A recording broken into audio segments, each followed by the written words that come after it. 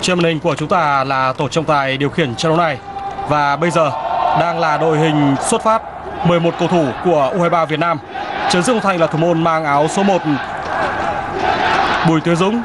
Cầu thủ còn lại gồm có số 4 trung vệ Bùi Tiến Dũng, số 5 Đoàn Văn Hậu, số 6 Lương Xuân Trường mang băng đội trưởng, số 8 Phạm Đức Huy, số 10 Nguyễn Công Phượng, số 11 Đỗ Duy Mạnh, số 13 Hà Đức Trinh, số 17 Vũ Văn Thành, số 19 Nguyễn Quang Hải và số 21 Trần Đình Trọng. Huấn luyện viên trưởng của đội tuyển U23 Việt Nam là huấn luyện viên người Hàn Quốc ông Park Hang-seo. Và như vậy là chúng ta thấy là đội hình xuất phát ở trận đấu ngày hôm nay của U23 Việt Nam giống hệt với đội hình xuất phát ở trận đấu trước gặp U23 Hàn Quốc. Trong khi đó thì U23 Australia có tới 8 sự thay đổi so với chiến thắng 3-1 gặp U23 Syria. Và đây là tổ trọng tài điều khiển trận đấu này với người bắt chính là trọng tài người Iraq, ông Mohanan Kasim Isisaray. Đội trưởng của U23 Việt Nam vẫn là Lương Xuân Trường và đội trưởng của U23 Australia vẫn là Ma Úc. Ma Úc cùng với thủ môn Izo và trung vệ Sunja là ba cầu thủ được đá chính ở trận đấu trước.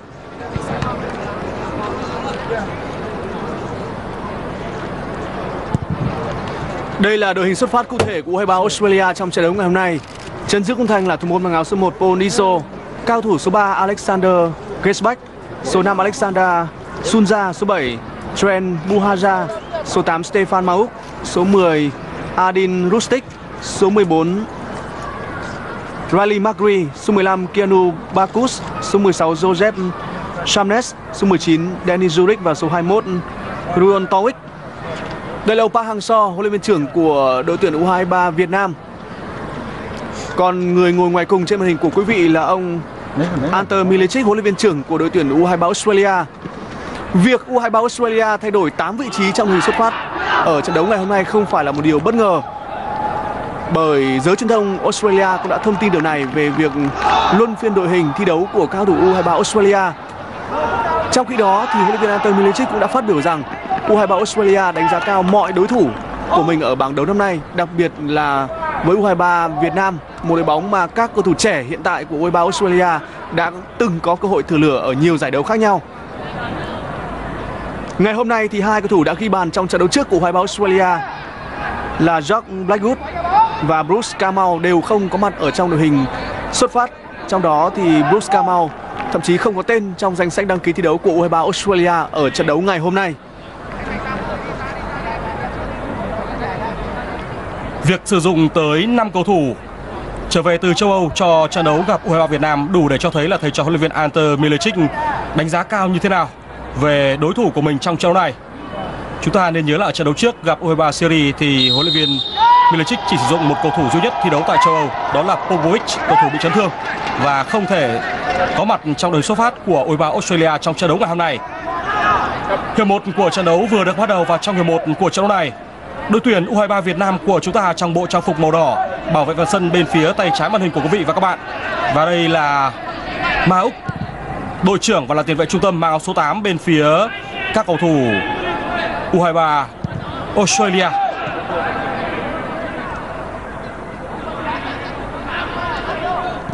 Trong trận đấu gặp U23 Syria thì các cầu thủ U23 Australia đã có một thống kê kiểm soát bóng ấn tượng với 65% thời gian bóng lăn ở trên sân.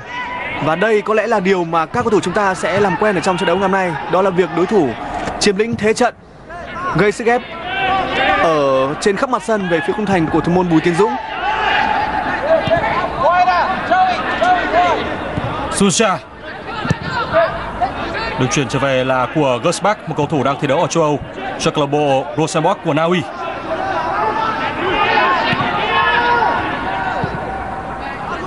Chắc chắn đây là một trận đấu mà các cầu thủ U23 Việt Nam, đặc biệt là hàng phòng ngự sẽ phải đối mặt với bài toán khó đó là chống bóng bổng với chiều cao rất tốt từ phía các cầu thủ U23 Australia. Và theo thống kê của chúng tôi thì đây là đội hình có chiều cao trung bình lên tới 1m82. Đây là thủ môn Bùi Tiến Dũng người đã có màn thể hiện khá tốt trong trận thua đáng tiếc 1-2 của U23 Việt Nam trước U23 Hàn Quốc ở trận đầu ra quân tại bảng D. Quang Hải Pha xử lý của Đào Văn Hậu. Ở hai bên cánh chúng ta đều đã có những bộ đôi thi đấu rất ăn ý và quen thuộc với nhau ở các cấp độ câu lạc bộ. Bên phía cánh trái là Văn Hậu và Quang Hải ở câu lạc bộ Hà Nội và bên phía cánh phải sẽ là trường hợp của Văn Thanh và Công Phượng.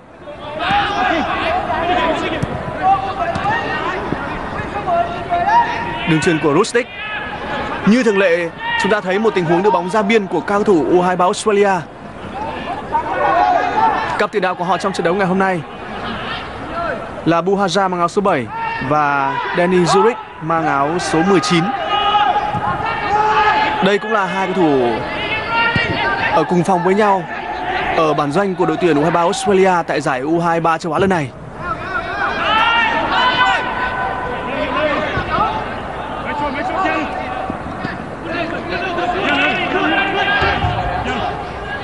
Đây là Đoàn Văn Hậu, người đã có tình huống thoát xuống bên phía cánh trái và chuyển ngược trở lại để cho Quang Hải dứt điểm với bàn thắng rất đẹp mắt vào lưới của U23 Hàn Quốc ở lượt trận đầu tiên của bảng D. Rosic Rosic cùng với Buhaja là những cầu thủ vào sân từ băng ghế dự bị ở trận đấu trước. Nhưng màn trình diễn của Rosic so với Buhaja thì mờ nhạt hơn rất nhiều. Số 7 Buhaja là người đã đóng góp một bàn thắng trong số 3 bàn thắng của U23 Australia ở trận đầu ra quân. Những điểm trừ của anh đó là những tình huống, cụ thể là hai tình huống đối mặt với thủ môn đối phương đều rất thuận lợi, nhưng lại không thể tự mình ghi bàn.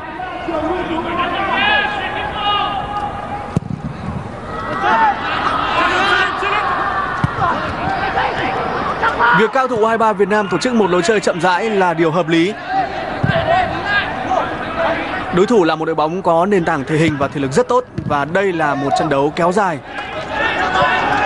Do vậy, việc phân phối sức hợp lý ở trận đấu này là rất quan trọng.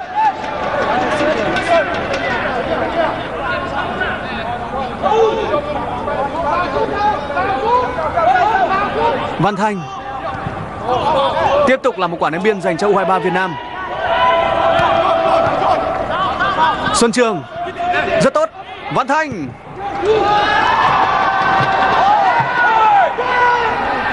Quá khó cho Hà Đức Trinh trong một tình huống tranh chấp tay đôi với cầu thủ của đối phương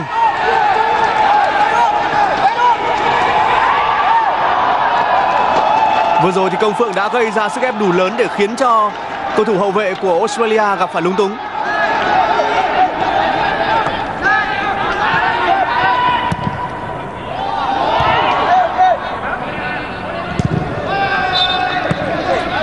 Đối đầu với những đối thủ có thể hình và thể lực tốt như Australia thì điều rất quan trọng đối với U23 Việt Nam đó chính là việc thi đấu áp sát tránh cho đối phương có nhiều khoảng trống và hạn chế phạm lỗi trong các tình huống gần với khu vực 16 50.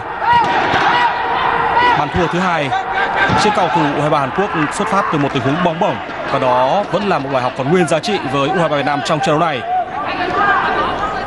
Và còn một tiêu chí nữa đó là sự tự tin. Điều mà chúng ta đã có được trong trận gặp U23 Hàn Quốc nhưng không duy trì được trong cả trận đấu. Lúc này chúng tôi nghĩ rằng cự ly đội hình của U23 Việt Nam đang là rất tốt. Các cầu thủ ở hàng trên chịu khó tranh chấp bóng với đối phương.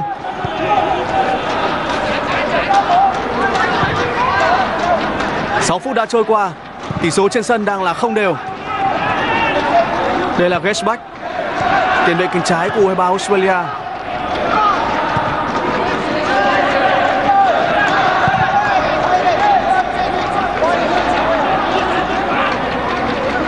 Người đang xuất hiện đó chính là Tông Dích. Người thay thế cho trung vệ Thomas Dunn đã mắc rất nhiều sai lầm ở trận đấu trước. Nhưng may mắn cho U23 Australia là cao thủ Syria đã không tận dụng thành công. Thomas Dunn chính là người đã đốt lưới nhà. Và cùng với đó là những tình huống anh đã chuyền bóng ngang hỏng Rất nguy hiểm, tạo cho cầu thủ Syria phản công với những tình huống thậm chí là 4 đến 5 đánh 1 nhưng đã không tận dụng thành công. Và ngày hôm nay thì Thomas Dunn đã không được huấn luyện viên Ante Milicic lựa chọn trong đội xuất phát và thay vào đó là Duon Tongjic.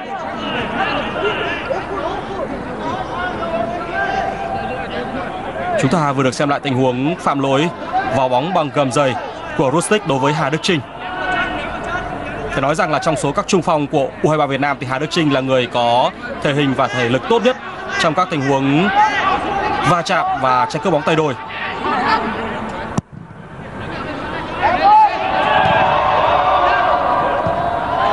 Bóng vẫn trong chân của U23 Việt Nam.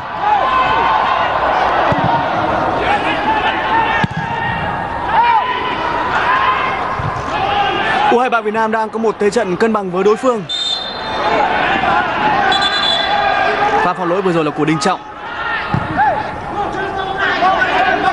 Công Phượng rất chịu khó ra biên để hỗ trợ cho đồng đội của mình và ngăn chặn những tình huống phát triển bóng ở biên từ phía U23 Australia.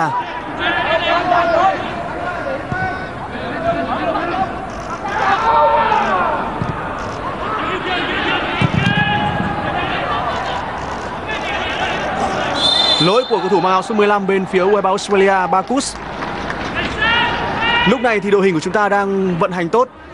Cao thủ chơi rất chặt chẽ và phối hợp với nhau tốt ở bên phần sân nhà. Sự bóng lót cũng là kịp thời ở trong những tình huống vừa qua. Nhưng đây vẫn mới chỉ là những phút đầu tiên của trận đấu. Và chúng ta sẽ cần phải duy trì được sự tập trung này trong một quãng thời gian dài.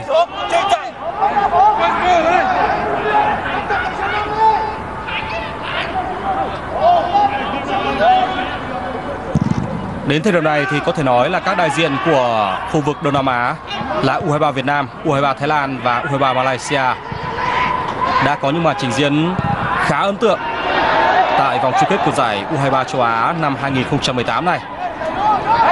Có thể vẫn là những trận thua và đã có những trận hòa. Nhưng thế trận mà cầu thủ U23 tới từ khu vực Đông Nam Á đã thể hiện trước các nền bóng đá mạnh của khu vực châu Á đã cải thiện rất nhiều so với những giải đấu trước đây. Cú đánh đầu về vừa rồi là của trung vệ Trần Đình Trọng. Trần Đình Trọng là người đã mắc lỗi trong bàn gỡ hòa một đều của U23 Hàn Quốc vào lưới của U23 Việt Nam ở trận đấu trước, khi mà tình huống lui về hỗ trợ phòng ngự của anh vô tình đã khiến cho bẫy việt vị của các học trò huấn luyện viên Park Hang-seo bị bẻ gãy. Điều chuyển của Rustic. Gersbach. Gersbach là cái tên mà Vũ Văn Thành sẽ thường xuyên phải đối mặt trong trận đấu ngày hôm nay. Đây là Công Phượng. Văn Thành. Văn Thành cùng với Văn Hậu là những hậu vệ cánh có khả năng hỗ trợ tấn công rất tốt. Tuy nhiên ở trận đấu trước thì chỉ có Văn Hậu làm được điều đó. Và ấn tượng nhất đó chính là tình huống kiến tạo cơ hội để cho Quang Hải ghi bàn. Còn Văn Thành trận đấu trước anh chưa phát huy được đúng những giá trị của mình. Một cầu thủ thi đấu đa năng, có thể thi đấu ở cả vị trí hậu vệ cánh trái, cánh phải, tiền vệ và thậm chí là cả vị trí tiền đạo nữa. Sau pha va chạm vừa rồi thì Văn Thành đã bị đau nhưng anh vẫn có thể tiếp tục đứng dậy để thi đấu. Cao thủ U23 Australia rất mạnh về tranh chấp tay đôi. Ở trận đấu trước gặp U23 Syria, thì cao thủ Australia đã có tới 61 lần giành chiến thắng trong những tình huống tranh chấp tay đôi với đối phương của mình. Và đây cũng sẽ là một thử thách mà chúng ta phải đối mặt. Đó là một tình huống mà U23 Việt Nam rất muốn tránh ở trong những trận đấu với các đối thủ như là U23 Hàn Quốc hay là U23 Australia. Một pha phạm lỗi khá gần với khung thành của thủ môn Tiến Dũng đến từ Đức Huy.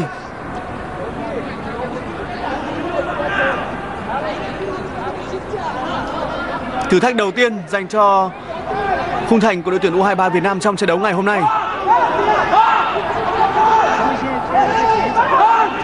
Đây chắc chắn sẽ là một thử thách thực sự đối với thủ môn Bùi Tiến Dũng. Một cự ly, một góc sút mà các chân sút Australia có thể sút thẳng và thậm chí là thực hiện những tình huống treo bóng bổng với lợi thế về chiều cao, nổi trội dành cho cầu thủ áo vàng.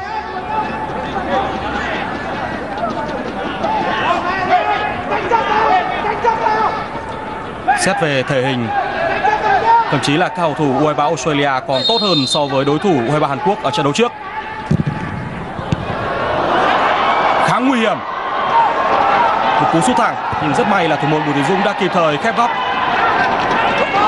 Tông Dích và qua người không thành công của Gasback và Vũ Văn Thành đã bị phạm lỗi và phạm lỗi của đội trưởng Mauk Chúng ta đang xem lại tình huống đá phạt của U23 Australia. Một cú sút bóng rất cơ bản và Tiến Dũng đã thi đấu tập trung ở trong tình huống này. Rõ ràng là những tình huống phạm lỗi trong khoảng cách chừng 30m đến khung thành của chúng ta sẽ là những tình huống mà cao thủ U23 Việt Nam phải chú ý để tránh. Với một đối thủ có khả năng sút tốt và có những pha phốt bóng bổng hiệu quả như là U23 Australia. Quang Hải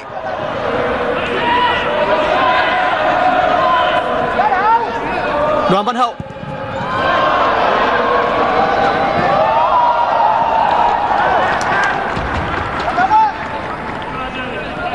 Sẽ là một tình huống đá phạt góc dành cho đội tuyển U23 Việt Nam.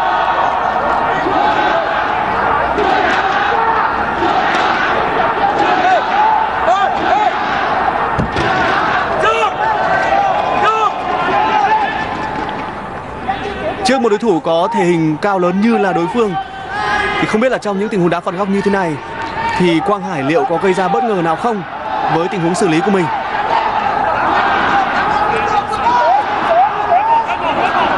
Một đường đưa bóng sệt. Công Phượng. Xuân Trường. Quang Hải rất trống trải. Đó là một cú đá thẳng. Nhưng tất nhiên là với một lực sút nhẹ như vậy thì không khó để cho thủ thành Paul có thể xử lý tốt tình hình. Nhưng đó cũng là một tình huống phối hợp rất đáng chú ý của đội tuyển U23 Việt Nam khi bóng qua chân những cầu thủ có khả năng dứt điểm. Và thậm chí trong tình huống vừa rồi thì Xuân Trường cũng đã có một góc sút để nhìn thấy cơ hội sút bóng thẳng về phía khung thành của đối phương.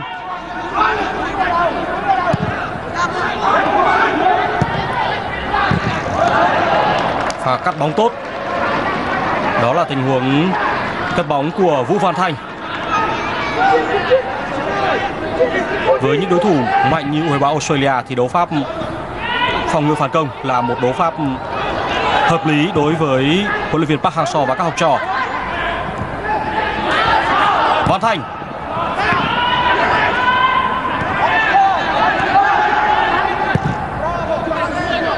Trước đây, các đội tuyển U19 của Việt Nam và U19 Australia đã từng gặp nhau và khi đó thì những Xuân Trường, Công Phượng, Văn Toàn hay Quang Hải đã hai lần giành chiến thắng trước U16 của Australia. Và đương nhiên là ở một giải đấu chính thức như thế này. Và ở vòng chung kết của giải U23 châu Á thì cao thủ Australia rất muốn trả món nợ này. Văn Thành, Công Phượng, Xuân Trường.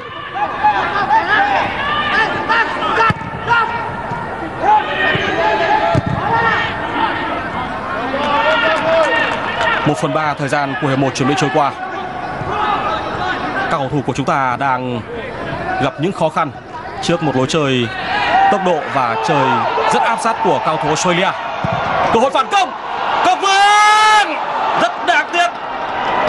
Một tình huống mà nếu như công phượng không chế bóng tốt thì anh đã có thể có cơ hội để tăng tốc hoặc với kỹ thuật của mình để qua người, tìm góc sút để dứt điểm. Bản thân Công Phượng cũng rất nuối tiếc với tình huống vừa rồi. Một con số thống kê đang hiện lên trên màn hình 74% thời gian kiểm soát bóng của U23 Australia và chúng ta chỉ có 26% thời lượng kiểm soát bóng trên sân mà thôi. Sức ép rất lớn đến từ phía U23 Australia và U23 Việt Nam đang cố gắng để thực hiện những tình huống phản công nhanh mà tình huống vừa rồi là một pha bóng điển hình. Lỗi việt vị của Hà Đức Trinh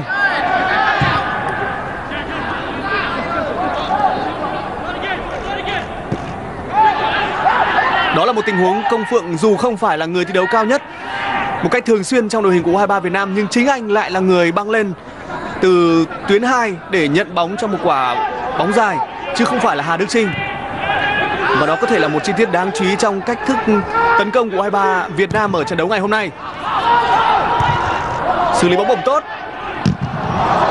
Đá rất căng từ tuyến 2 của U23 Australia. Pha dứt điểm của Patrick Magri Người đã thực hiện cú dứt điểm vừa rồi là tiền vệ phòng ngự của U23 Australia.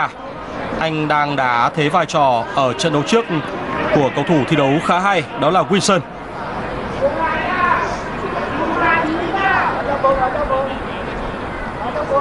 chiến thắng 3-1 trước U23 Syria ở trận đấu trước khiến cho đội bóng của huấn luyện viên Ante Milicic phải trả một cái giá đó là hai tiền vệ cánh thi đấu rất hay của đội bóng này bị chấn thương. Trong đó thì Camau, người đã ghi bàn thắng thứ hai bằng đầu, bị chấn thương khá nặng và không có tên đăng ký trong danh sách của U23 Australia trong trận đấu hôm nay. Còn người đá cánh đối diện đó là Popovic thì bị chấn thương vẫn chưa hoàn toàn bình phục và hôm nay thì chỉ có tên trong danh sách dự bị.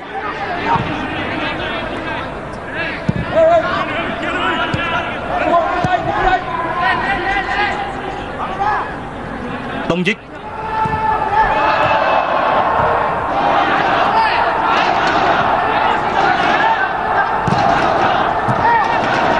Đây là trận đấu ngoài việc sử dụng tối đa những cầu thủ thi đấu tại châu Âu thì huấn luyện viên Belichick còn muốn xoay tua đội hình. Trận đấu trước thì nhạc trưởng của đội báo Australia đó là Dani De Silva thi đấu rất hay và không bị chấn thương nhưng ngày hôm nay tiền vệ mặc áo số 22 này cũng chỉ có tên trong danh sách dự bị. Lại là Tông Dích Suja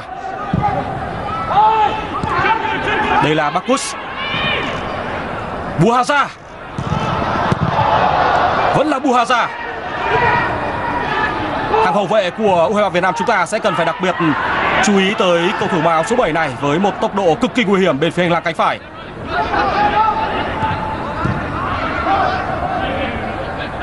Đường truyền của Magri.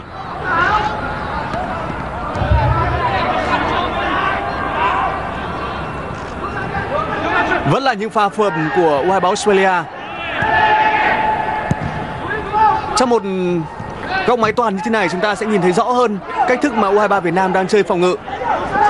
Đó là việc bất cứ một cầu thủ nào của U23 Australia cũng đều có một người của chúng ta theo kèm rất chặt. Và điều này lý giải vì sao mà các cầu thủ áo vàng không hề dễ dàng để tiếp cận với khung 10 6m50 của đội tuyển U23 Việt Nam.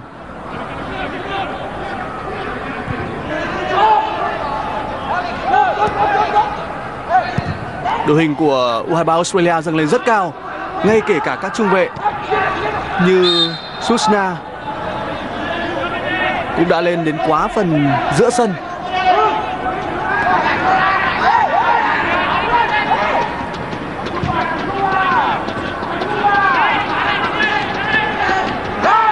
Tông Ích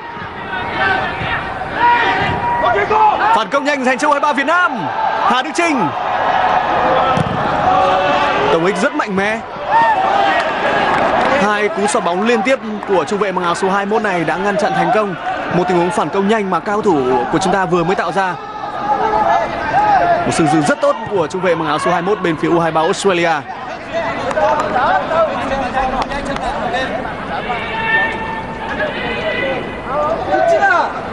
득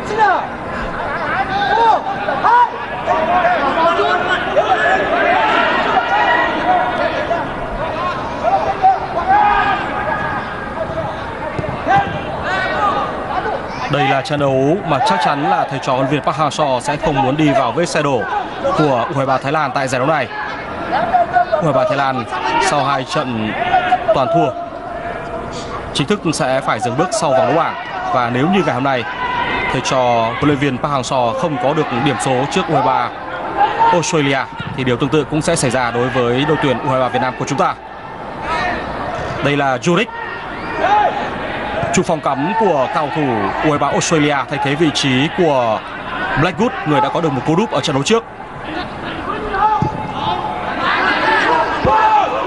Chamnes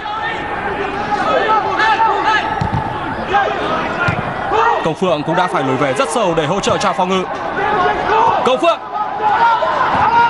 pha đi bóng không để ý của Công Phượng người đã kịp thời băng về để lấy bóng từ chân của Công Phượng, đó chính là hậu vệ cánh trái Alexander Gasbach, người đang thi đấu tại Na Uy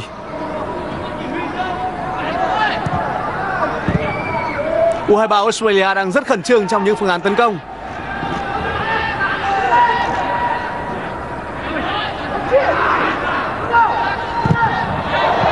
Một cú sút rất nguy hiểm về phía khung thành của thủ môn Tiên Dũng. Chúng ta thấy là các cầu thủ U23 Australia xử lý những pha bóng vừa rồi rất cơ bản và kỹ thuật như thế nào. Xoay người. đi bóng một nhịp đến một vị trí thuận tiện nhất và dứt điểm bằng chân trái đó là tình huống xử lý của Rustic pha bóng đáng kể nhất mà cao thủ U23 Australia tạo được từ đầu trận đấu đến giờ và nó xuất phát từ một nỗ lực cá nhân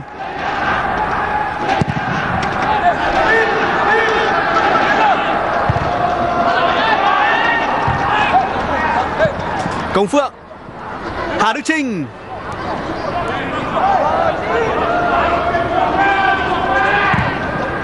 Cao thủ U23 Australia rất khỏe và cũng có kỹ thuật tốt. Đây là Tông Ích, Một trung vệ thi đấu nổi bật từ đầu trận đến giờ. Gesbach. Nguy hiểm là một tình huống phối hợp lên bóng rất nguy hiểm của cao thủ U23 Australia. Dường như là nhiệt độ tấn công của đội bóng này đang tăng lên. Sau 20 phút đầu, mọi thứ diễn ra một cách chậm rãi. Thì trong những phút vừa rồi, chúng ta thấy rằng cao thủ U23 Australia rất khẩn trương ở trong những pha phối hợp bóng nhanh. Khi có bóng ở 1 phần 3 sân bên phía gần với khung thành của thủ môn Bùi Tiến Dũng.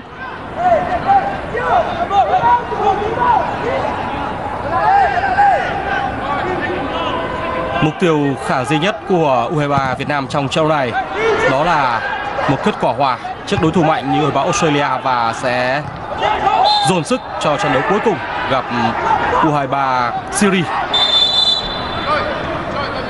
Trong bóng đá thì điều gì cũng có thể xảy ra nhưng chúng ta cần nhìn nhận một cách thực tế. Việc cao thủ Australia đẩy cao đội hình tấn công và ép sân ngay từ đầu khiến cho bộ ba của chúng ta trên hàng công đó là Hà Đức Trinh, Quang Hải và Công Phượng chưa có được một tình huống nào thực sự nguy hiểm về phía khung thành của thủ môn Paul Izo. Xuân Trường.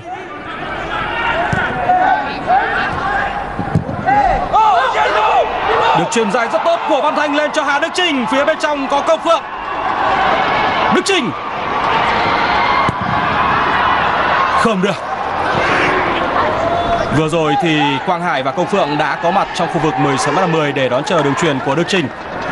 Nhưng sau khi thực hiện động tác giả và không thể đánh lừa được hậu vệ đối phương, nỗ lực chuyển bóng bổng vào phía trong của Đức Trinh đã không theo ý muốn. Dù sao là pha bóng vừa rồi của các thủ U23 Việt Nam cũng đã nhận được sự động viên từ phía người thầy của mình.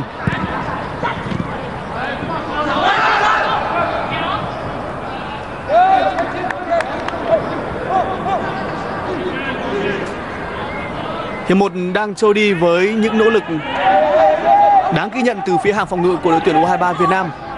Các tiền vệ như là Đức Huy hay Xuân Trường cũng đang phối hợp rất tốt và hỗ trợ hiệu quả cho hàng phòng ngự.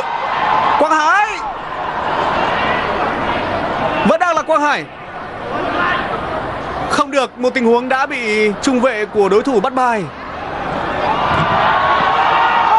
Công Phương Văn Thành Không thể dứt điểm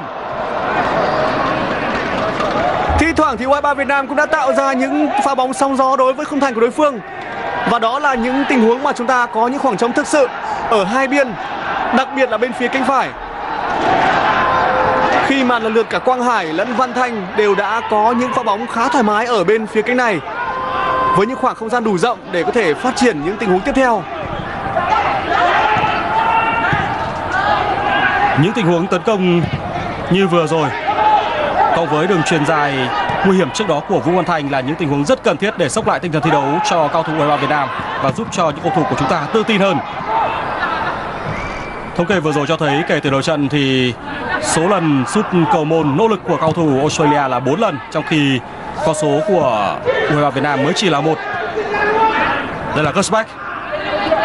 Rustic. Rustic và đội trưởng Mã Úc sẽ là những người thi đấu ở vị trí tiền vệ trung tâm của đội bóng Australia.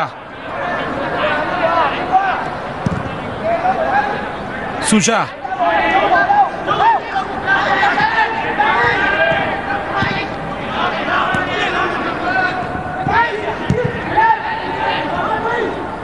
Ma Úc khá nguy hiểm. Cú dứt điểm vừa rồi là của tiền đạo Zurich Công Phượng không được. Một pha cài người rất khôn ngoan của trung vệ Sunja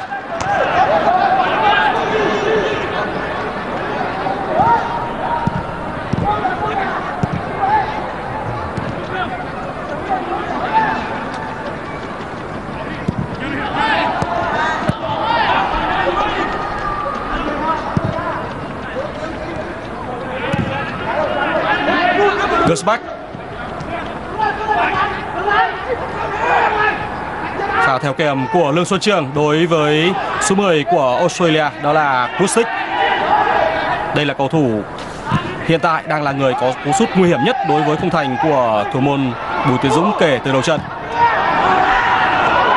Đường truyền không chính xác vừa rồi là của Hà Đức Trinh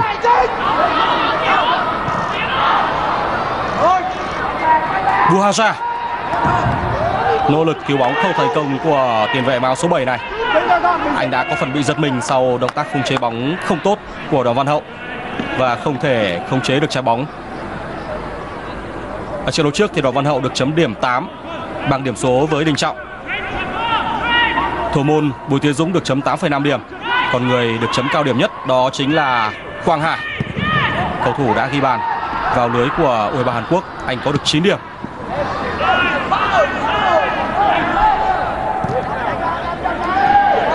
Sunja Máu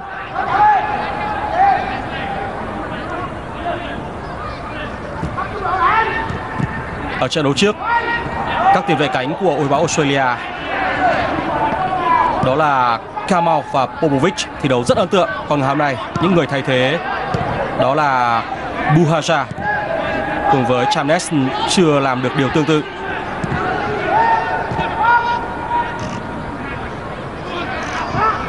Không có lỗi của các thủ u Việt Nam. Những đường truyền rất vội vàng liên tiếp xuất hiện từ Hà Đức Trinh. Rustic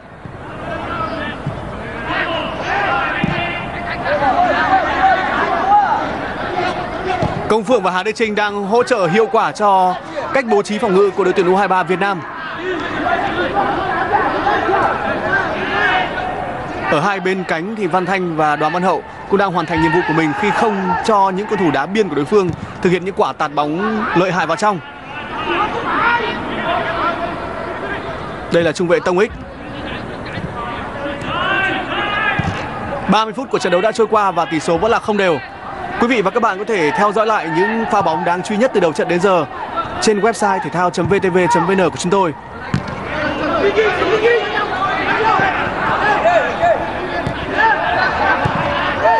Tuyển U23 Việt Nam đang thể hiện một cách bố trí phòng ngự chặt chẽ.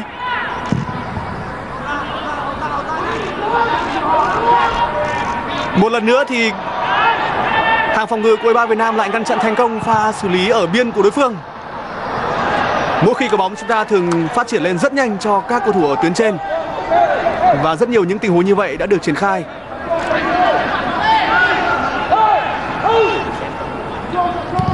Trong tình huống phòng ngự vừa rồi chúng ta phải dành những sự khen ngợi cho Đoàn Văn Hậu. Tiếp tục là một tình huống cắt bóng nữa của Đoàn Văn Hậu khi bóng được truyền tới vị trí di chuyển của Buhasa. Quang Hải, Đức Trinh. Đức Trinh đang tìm đồng đội để phối hợp. Đức Huy. Không được. Công Phượng đã lấy được bóng. Rất đáng tiếc trong một thế trận thiên vệ phòng ngự như thế này thì tận dụng những cơ hội hiếm hoi trong các tình huống tấn công là điều vô cùng quan trọng cho mục tiêu của thầy trò huấn luyện viên Park Hang-seo.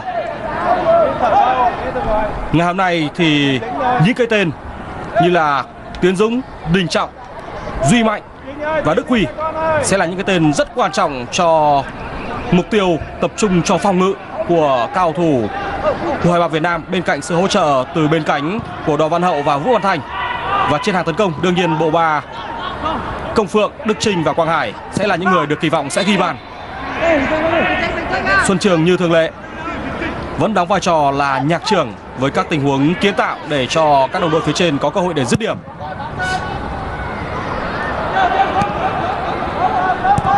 Hơn 2 phần 3 thời gian thi đấu chính thức của hiệp một trận đấu đã trôi qua đội tuyển U23 Việt Nam của chúng ta vẫn đang thành công trong việc giữ sạch mảnh lưới của thủ môn Bùi Thế Dũng. Suza đường chuyển của Ma Úc Macrin như thường lệ chúng ta có một hệ thống phòng ngự tuyến đầu gồm có Công Phượng và Hà Đức Trinh. Một cách bố trí phòng ngự nhiều lớp đang được thực hiện hiệu quả.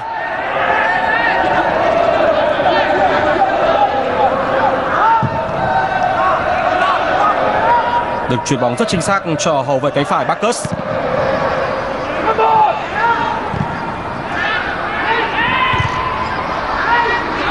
U23 Việt Nam đang thực sự thi đấu với sơ đồ chiến thuật với hàng phòng ngự hai tầng trước khung thành của thủ môn Bùi Tiến Dũng. Đức Huy rất bình tĩnh. Văn Hậu Đó tiếp tục là một đường truyền dài lên rất nhanh Công Vương, Công Vương. Một chút nữa thôi thì Công Vương đã làm nên chuyện Nhưng đó lại là số 21 Tông Ích Đến bây giờ thì những đường truyền dài lên phía trên Những đường truyền rất dài đưa bóng lên phía trên đã có được hiệu quả. Công Phượng khôn ngoan Đã vượt qua được thủ thành đối phương. Nhưng bóng đi hơi dài trong tình huống vừa rồi Quả thực là một giây phút đáng tiếc Của Công Phượng Cầu thủ. Luôn có duyên với mảnh lưới của các đội bóng Australia. Một giây phút thực sự hồi hộp, thực sự đáng tiếc đối với Công Phượng cũng như đội tuyển U23 Việt Nam của chúng ta. Đó là cơ hội nguy hiểm nhất mà chúng ta được chứng kiến kể từ đầu trận. Đáng tiếc cho cầu Phượng khi mà động tác qua người với thủ môn đối phương bóng đã đi hơi dài và anh đã không có đủ sức dướn để thực hiện cú dứt điểm tiếp theo. Xuân Trường Vẫn còn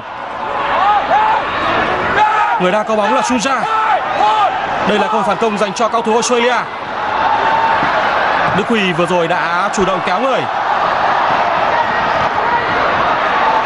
Sóng gió tạm thời trôi qua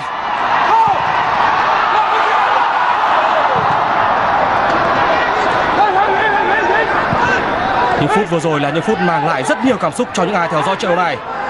Những cơ hội nguy hiểm liên tiếp đến với cả hai đội. Gersbach. Văn Thành. Cú phá bóng không tốt của Văn Thành. Đây là Chamnes.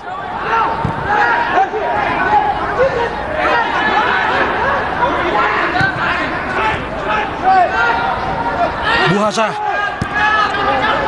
Gersbach. Quang Hải Xuân Trường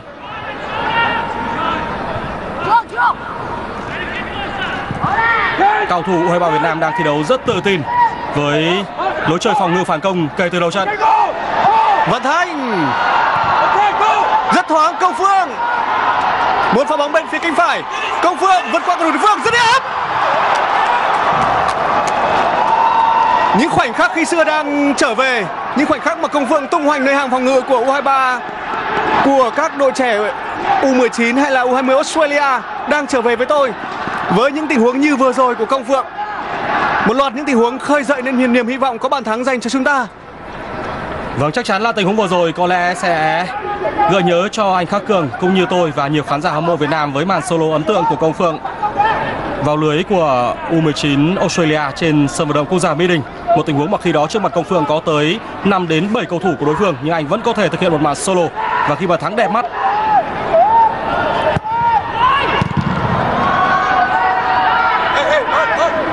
dù kiểm soát bóng kém hơn so với đối thủ Tuy nhiên về cơ hội nguy hiểm thực sự thì chúng ta lại đang vượt trội và về phạt góc thì bây giờ đội tuyển U23 Việt Nam đã có 3 quả phạt góc, còn Australia thì chưa có quả phạt góc nào. Rất hay. Đức Huy. Pha phối hợp giữa Đức Huy và Đoàn Văn Hậu, những đồng đội của nhau ở câu lạc bộ Hà Nội.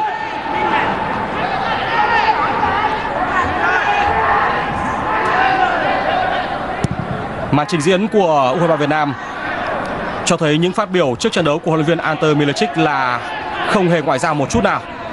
Ông đánh giá rất cao các cầu thủ U23 Việt Nam. Không chỉ là ở trận đấu trước U23 Hàn Quốc mà còn nhìn vào quá khứ khi lứa trẻ của Công Phượng Xuân Trường, Tuấn Anh, Phan Toàn và Quang Hải đã gây khó khăn cho bóng đá trẻ của Australia. Chamnes pha xâm nhập vòng cấm không thành công của tiền vệ cánh phải bên phía Australia và phối hợp không ăn ý vừa rồi là giữa Công Phượng và Hà Đức Trình. Vẫn là Công Phượng. Đối phương áp sát rất nhanh. Macri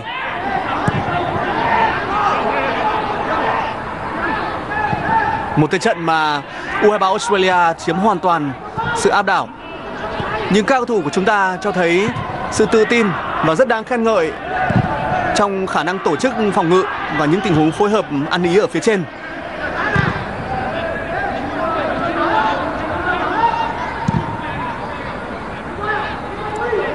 Những tình huống tấn công nguy hiểm mà U23 Việt Nam tạo ra trong những phút vừa qua khiến cho khoảng hơn 10 phút vừa qua, cao thủ Australia không dám đẩy quá cao đội hình.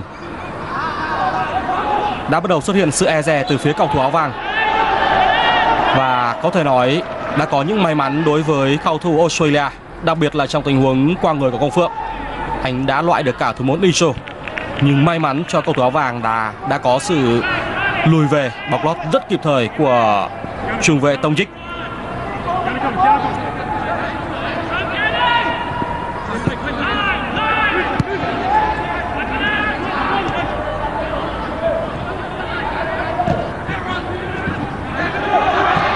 Bóng thành công của cao thủ U23 Việt Nam. Xuân Trường. Rất khôn ngoan. Quang Hải. Dứt điểm. Rất nguy hiểm. Nhưng pha xử lý đúng với tố chất của Quang Hải. Thủ môn và hậu vệ của U23 Australia có lẽ bắt bài một tình huống chuyền bóng xuống bên phía cánh trái của Quang Hải.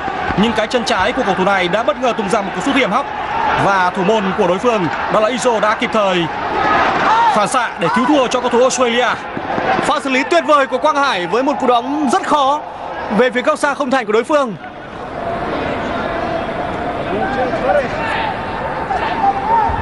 Thêm một tình huống nữa mà chúng ta thấy rằng Quang Hải và đồng đội đang tự tin trong những phương án áp sát với khung thành của Ponizo. Dứt điểm.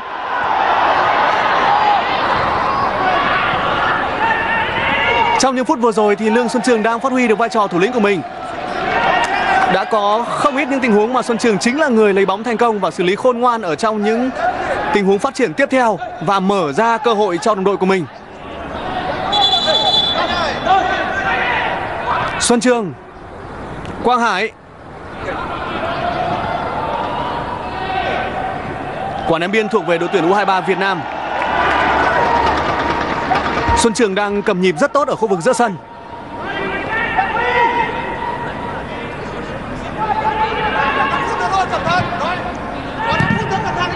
Đường nhà bóng ngược trở lại không thực sự chính xác và thuận lợi của Công Phượng dành cho Vũ Văn Thanh. Chắc hẳn bên ngoài sân thì huấn luyện viên Ante Milicic đã không ít lần phải giật mình với các tình huống tấn công rất nguy hiểm và sắc sảo của U23 Việt Nam. Hiệp một đang dần trôi về những phút cuối. Ý đồ chơi pressing ngay từ đầu và sớm có được bàn thắng của U23 Australia đến thời điểm này, có thể được coi là đã bị phá sản.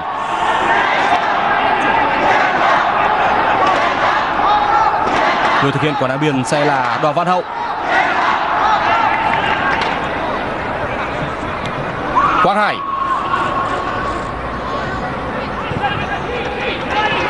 Tình huống không thực sự hiểu ý của Hà Đức Trinh. Văn Hậu. Pha xử lý rất đáng tiếc của Văn Hậu.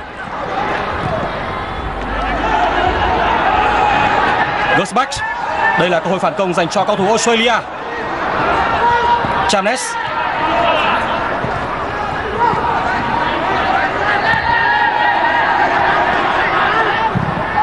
Một điều đáng ghi nhận từ phía cầu thủ U23 Việt Nam ở giải đấu này đó là thể lực. Chúng ta thấy trong trận đấu gặp U23 Hàn Quốc, thể lực của cầu thủ U23 Việt Nam rất tốt và ngày hôm nay, trong các tình huống sau khi tấn công, bị mất bóng thì cầu thủ áo đỏ cũng lùi về rất nhanh để hỗ trợ trang phòng ngự. Tiếp tục là Chanes và bắt bài vừa rồi của Lương Xuân Trường. Lương Xuân Trường đang đạt hiệu quả cao trong việc ngăn chặn các pha bóng phối hợp của đối phương.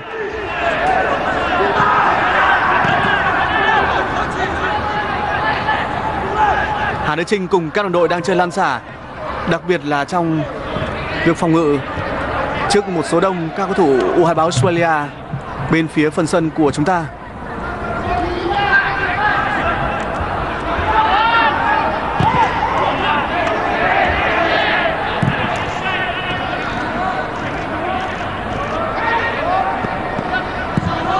vẫn là trung vệ Tông Ích là người đưa bóng sang hai biên cho đồng đội của mình.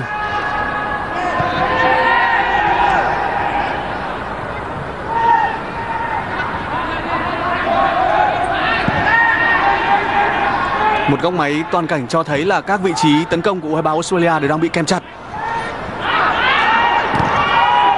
Tình huống phá bóng an toàn của Duy Mạnh. Thống kê vừa rồi cho thấy số lần phạm lỗi kể từ đầu trận của U23 Australia là nhiều hơn so với số lần phạm lỗi của U23 Việt Nam. Số lần phạm lỗi của công áo vàng là 6 và của U23 Việt Nam của chúng ta là 5. Liên tiếp là những tình huống can thiệp của Lương Xuân Trường. Tông Dích. Macri. Đây là Gersbach. Cả ba tuyến của U23 Australia đều có những cầu thủ trở về từ châu Âu nhưng không thể ghi được bàn thắng đến thời điểm này vào lưới của U23 Việt Nam. Rất nguy hiểm. Cú dứt điểm cuối cùng thì là quá hiền. Đó là cú dứt điểm của tiền vệ cánh trái bên phía Australia, Chamnes. Văn Thành. Và khống chế với cảm giác bóng không tốt của Công Phượng. Hiệp một đang trôi về những phút cuối. U23 Australia đang dồn toàn lực để tấn công.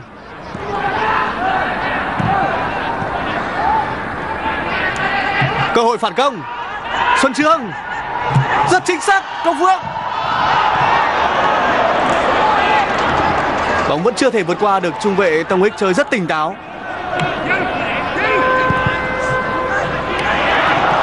Một tình huống xử lý an toàn pha bóng tốt của Bùi Tiến Dũng khi anh đã phá bóng nét đường biên ngang trong một tình huống chọc khe lợi hại của U23 Australia. Huấn luyện viên Park Hang-seo có vẻ như đang ra dấu hiệu yêu cầu các học trò của mình tập trung. Đây là điều rất quan trọng bởi đây đang là những phút cuối của hiệp 1.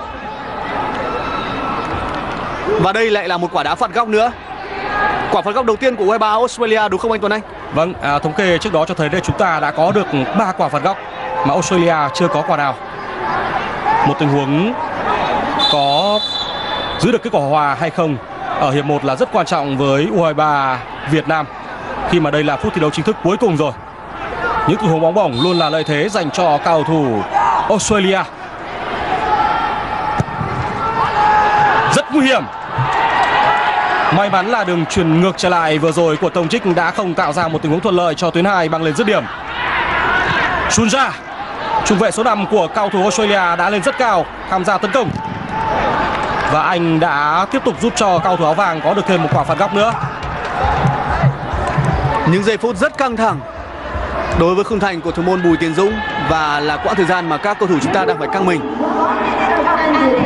Đúng là sự tập trung và tỉnh táo là một yếu tố then chốt ở trong những tình huống cuối hiệp 1 như thế này.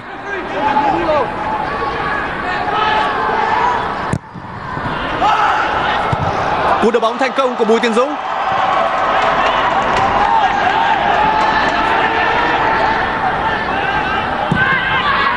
Thêm một cú cho bóng nữa của bạn Australia.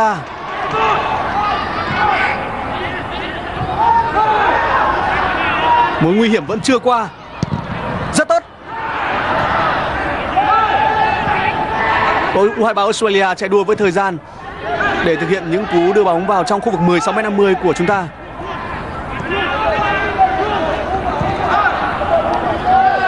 Những giây bù giờ cuối cùng của hiệp 1 một hiệp đấu mà Công Phượng và Quang Hải đã có những dấu ấn. Như vậy là hiệp 1 của trận đấu đã khép lại với tỷ số hòa không đều. Một hiệp đấu rất đáng khen ngợi đối với màn trình diễn của đội tuyển U23 Việt Nam của chúng ta. Xin mời quý vị và các bạn chúng ta sẽ cùng quay trở lại sân vận động Cô Sơn tại Trung Quốc để theo dõi hiệp 2 trận đấu giữa đội tuyển U23 Việt Nam của chúng ta và đội tuyển U23 Australia trong khổ lượt trận thứ hai của bảng D vòng chung kết U23 châu Á năm 2018. Hiệp 2 của trận đấu vừa được bắt đầu và trong hiệp 2 của trận đấu này, đội tuyển U23 Việt Nam của chúng ta trong bộ trang phục màu đỏ bảo vệ phần sân bên phía tay phải màn hình của quý vị và các bạn.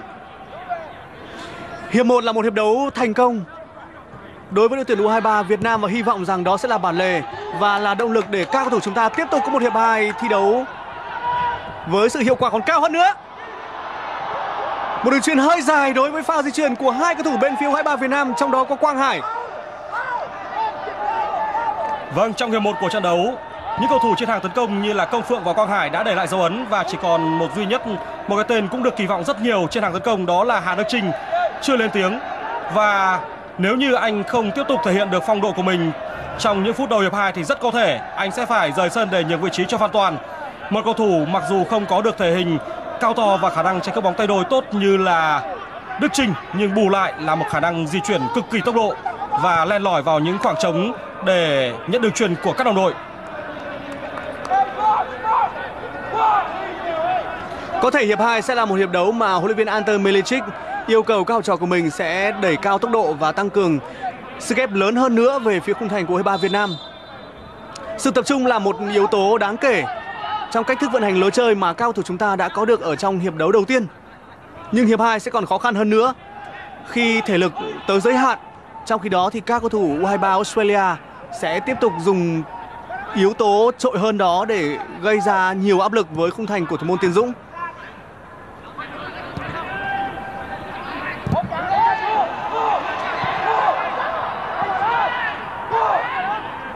Vừa rồi là một tình huống chuyển bóng lên phía trên dành cho Hà Đức Trinh. Phải nói rằng đến thời điểm này khi gặp những nền bóng đá mạnh của khu vực châu Á như là Hàn Quốc hay là Australia, những nền bóng đá thường xuyên được góp mặt tại vòng chung kết của FIFA World Cup thì sự thua kém của U23 Việt Nam đó chỉ là ở yếu tố thể hình. Thể lực và kỹ thuật thì các cầu thủ của chúng ta không hề kém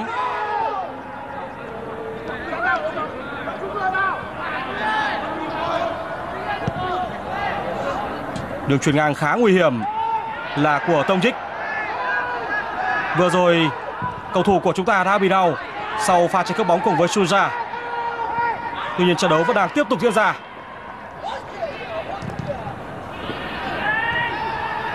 Công Phượng rất kỹ thuật. Pha xử lý quen thuộc của Công Phượng. Và Vũ Văn Thành đã quyết định đá bóng ra bên ngoài sân để cho các nhân viên y tế và chăm sóc cho đồng đội của mình, đó là Hà Đức Trinh. Hà Đức Trinh đã bị đau sau khi va chạm với trung vệ Sunja. Chúng ta đang được xem lại tình huống quay chậm.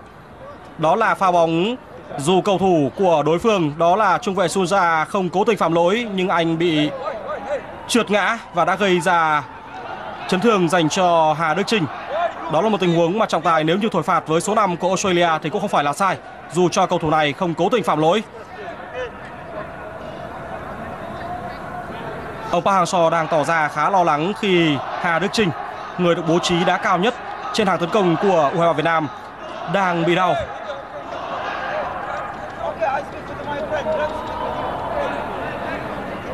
Hà Đức Trinh là người đã có được hiệu quả trong việc lôi kéo sự chú ý của các cầu thủ đối phương ở trong hiệp 1 của trận đấu. Và từ đó những khoảng không gian rộng dành cho Quang Hải hay là Công Phượng đã được hai cầu thủ có tố chất kỹ thuật cá nhân rất khéo léo này phát huy hiệu quả. Quang Hải đã có một cú sút khiến thủ thành Tonizo của Australia phải rất vất vả để cản phá. Trong khi đó thì Công Phượng, như chúng ta còn nhớ là trong hiệp đấu đầu tiên, đã liên tục có những pha khuấy đảo về phía khung thành của U23 Australia. Quý vị và các bạn có thể theo dõi lại những pha xử lý ấn tượng đó của Quang Hải hay Công Phượng trên website thể thao.vtv.vn bên cạnh việc đồng hành của chúng tôi trong buổi bình luận ngày hôm nay.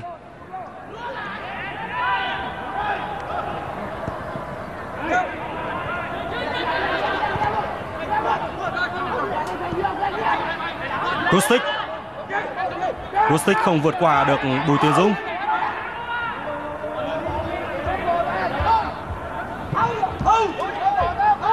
Suza.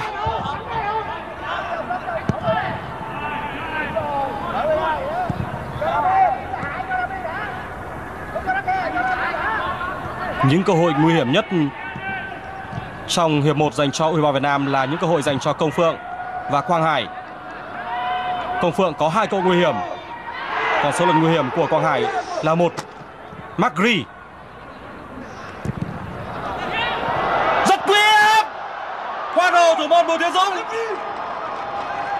một mà Đoàn Văn Hậu đã không thể ngăn cản được pha xâm nhập vòng cấm với tốc độ rất nhanh của Chamnes Nhưng thủ môn của U23 Việt Nam vẫn kịp thời khép bóc. Chúng ta cùng xem lại tình huống này. Pha bằng lên rất mạnh mẽ của đối phương. Và như chúng tôi đã bình luận ở phần đầu hiệp 2 ngày hôm nay U23 Australia sẽ tăng cường gây ra sức ép bằng thể lực và bằng tốc độ cao. Và đó sẽ là lúc mà các cầu thủ ở hàng phòng ngự của chúng ta sẽ phải rất tập trung và phân phối sức hợp lý 5 phút vừa qua là 5 phút báo hiệu những thử thách rất lớn đối với hàng phòng ngự của chúng ta ở trong hiệp đấu này. Số lần đá phạt góc của U23 Australia đã bắt đầu nhiều hơn kể từ giai đoạn cuối quay 1. Hoan hô Bùi Tiến Dũng với những pha xử lý rất chính xác trong vòng 1-2 phút vừa qua của hiệp 2.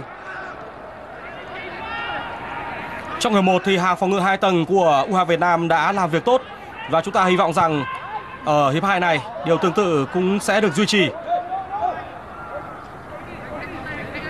Hàng tấn công sẽ chờ đợi vào các tình huống bùng nổ và tỏa sáng của những cái tên như là Công Phượng, Quang Hải hay là Hà Đức Trinh. Trong hiệp 1 khi mà hậu vệ đối phương mắc sai lầm nếu như Công Phượng thực hiện động tác qua người với thủ môn đối phương bóng đi ngắn một chút thôi thì đã có cơ hội để cho anh đệm bóng và khung thành đã bỏ trống nhưng đáng tiếc là động tác qua người của anh bóng hơi dài và Tông Dích đã kịp thời băng về để giải nguy. Đã có lỗi việt vị của cao thủ U23 Australia.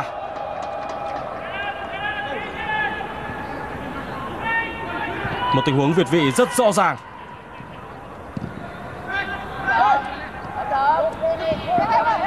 Văn Hậu, Quang Hải, Rất kỹ thuật.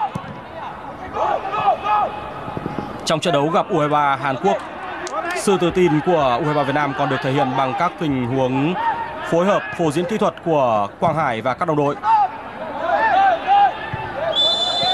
Dù trận đấu đó U23 Hàn Quốc giành chiến thắng, nhưng với báo chí của Hàn Quốc nói riêng và báo chí của khu vực châu Á nói chung, thì đó là một trận đấu mà U23 Hàn Quốc chỉ thành công về mặt tỷ số. Còn về lối chơi thì đã không thể hiện được quá nhiều trước cao thủ U23 Việt Nam. Văn Hậu rất bình tĩnh nhưng sau đó là đường truyền đã không thể tới được vị trí hoặc là của Công Phượng hoặc là của Hà Đức Trinh. Đây là Sunja. Tốc độ của hiệp 2 từ phía cả hai bên đều đã cho thấy sự tăng lên so với hiệp 1. Hai đội đều rất khẩn trương trong việc thực hiện những pha phối hợp, đặc biệt là phía các cầu thủ U23 Australia. Một nhịp độ tấn công liên tục đặt ra thử thách lớn cho hàng phòng ngự của U23 Việt Nam. Trọng tài không cho rằng đó là một tình huống phạm lỗi.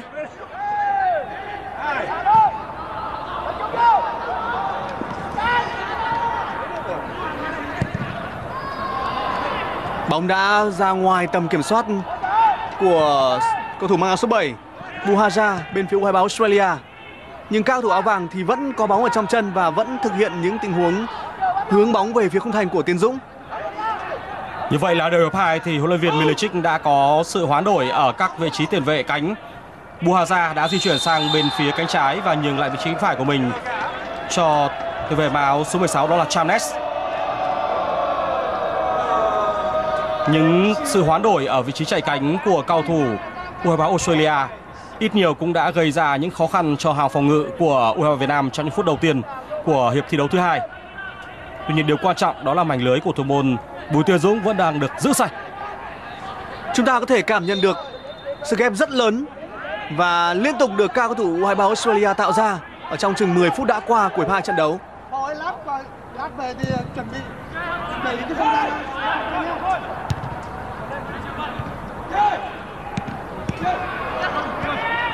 Rất tốt Quang Hải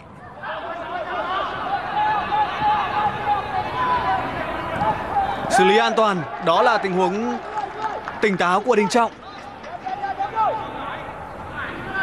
Đình Trọng là cầu thủ đã trưởng thành rất nhiều trong hai mùa giải vừa qua của bóng đá chuyên nghiệp Việt Nam. Đội bóng mạnh đầu quân là câu lạc bộ Sài Gòn. Có lẽ việc thi đấu với vị trí trung vệ và quen phải đối mặt với các tiền đạo ngoại đã giúp cho anh tự tin khi tham dự những giải đấu quốc tế cùng với đội tuyển U20 Việt Nam tại vòng chung kết FIFA U20 thế giới hay ở các giải đấu quốc tế khác của U23 Việt Nam. Xuân Trường. Công Phượng. Rất tốt. Cơ hội phản công dành cho các thủ U23 Việt Nam. Quá đáng tiếc cho tình huống vừa rồi của Hà Đức Trinh. Một cơ hội để anh cùng với Quang Hải có thể phối hợp để đe dọa khung thành của đối phương. Nhưng anh đã không quan sát và cài người không tốt. Chamnes Đến lượt trung vệ Tiến Dũng có được pha hỗ trợ bóng lót kịp thời. Hai đội thi đấu với một thái độ rất khẩn trương.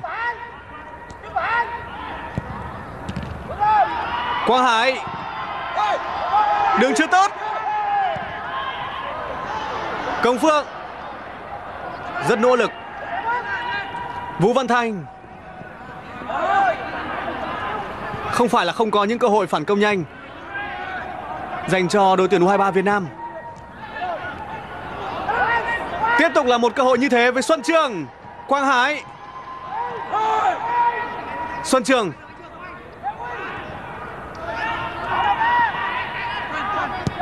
Một loạt những pha xử lý bình tĩnh cần thiết của đội tuyển U23 Việt Nam. Bùi Tiến Dũng đã có lỗi với Quang Hải.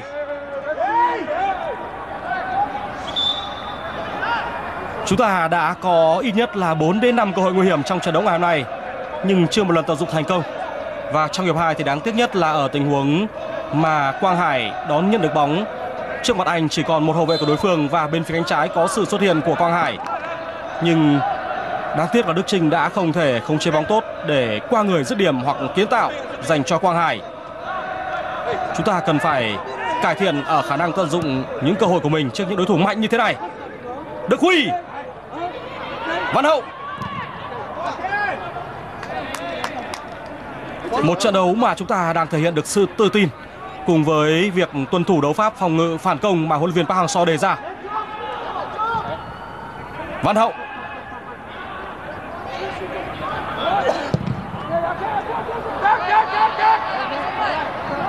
Có lẽ không có phạt góc dành cho cao thủ U23 Việt Nam của chúng ta.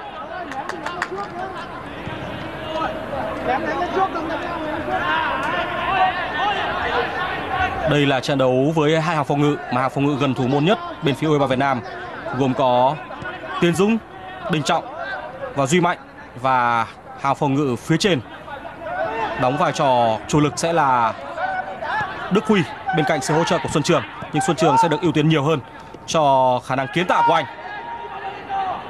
Rosic không nguy hiểm.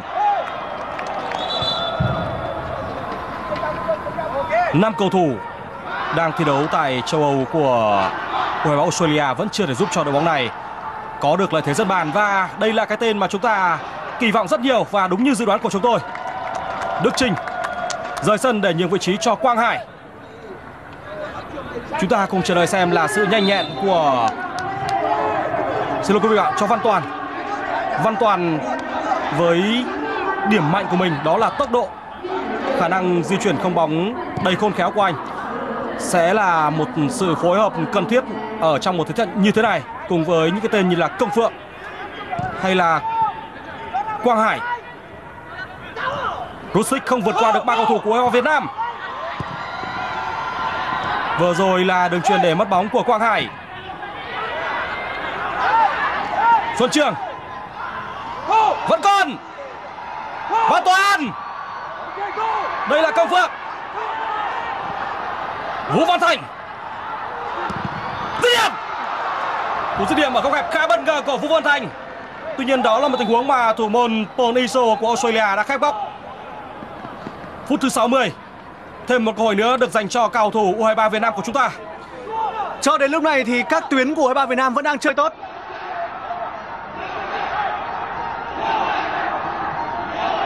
Một pha phối hợp mà Công Phượng cho thấy sự trưởng thành rất nhiều. Xung quanh là đông cầu thủ, Anh không đi bóng thẳng vào nơi mà đông cầu thủ của đối phương tập trung nữa. Mà thay vào đó là thực hiện một đường truyền ở một góc thoáng hơn và rộng rãi hơn dành cho Văn Thanh băng lên.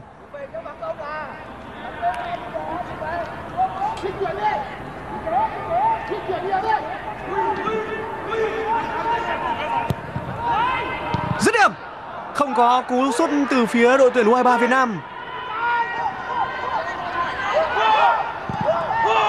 Văn Toàn cũng giống như Đức Trinh khi còn thi đấu luôn rất chịu khó chạy về sau khi đối phương có bóng để hỗ trợ phòng ngự.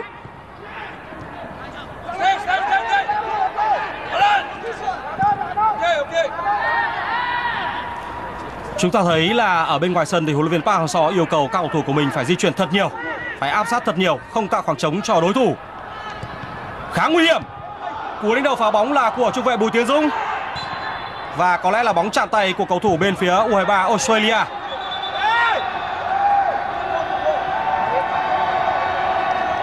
Hai sự thay đổi người liên tiếp và đây đều là những cái tên thi đấu cực kỳ ấn tượng trong chiến thắng 3-1 ở trận đấu trước của U23 Australia. Tiền đạo Blackwood, người đã ghi cú đúp trong trận đấu đó vào sân để thay thế cho tiền đạo trong trận đấu này thi đấu rất mờ nhạt đó là Juric. Và nhạc trưởng thực sự ở giữa sân, Dani De Silva là người sẽ được tung vào sân trong hiệp thi đấu thứ hai này. Hai sự thay đổi người liên tiếp từ phía cầu thủ Australia. Anh thay thế cho Rusic. De Silva vào sân Một cầu thủ không lạ lẫm với khán giả Việt Nam khi đã có mặt trong trận thua của U2 U19 Australia tại sân Mỹ Đình nhưng sẽ là một mũi nhọn đáng kể mà huấn luyện viên Ante Milicic bổ sung cho đội hình của ông ở trong hiệp 2 này.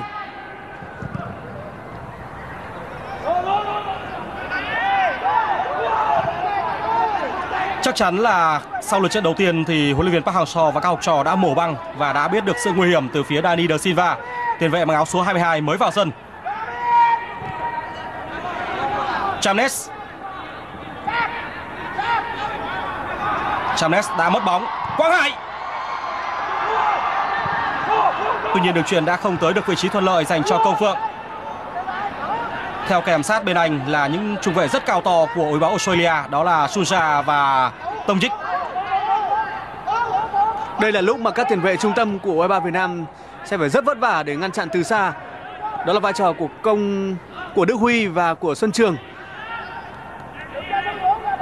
Khi mà thể lực của các tiền vệ chúng ta giảm sút thì U23 Australia đang đến gần hơn với khung thành của Tiến Dũng và số lần mà họ có bóng ở gần với khu vực 16m50 của U23 Việt Nam đang tăng lên rõ rệt ở trong hiệp đấu này.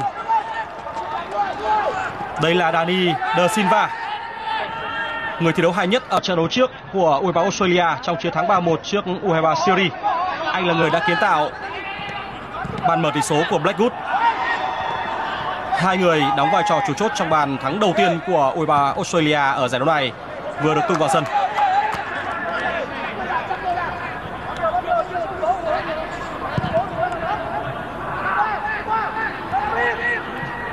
Gersbach Suza. Trong trận đấu trước thì Dani De Silva tỏ ra đặc biệt nguy hiểm với các tình huống xuống bóng bên phía hành lang cánh phải. Và đây là vị trí sẽ mang tới nhiều thử thách dành cho đoàn Văn Hậu. Pha vừa rồi là pha tranh cướp bóng thành công của Văn Hậu. Công Phượng.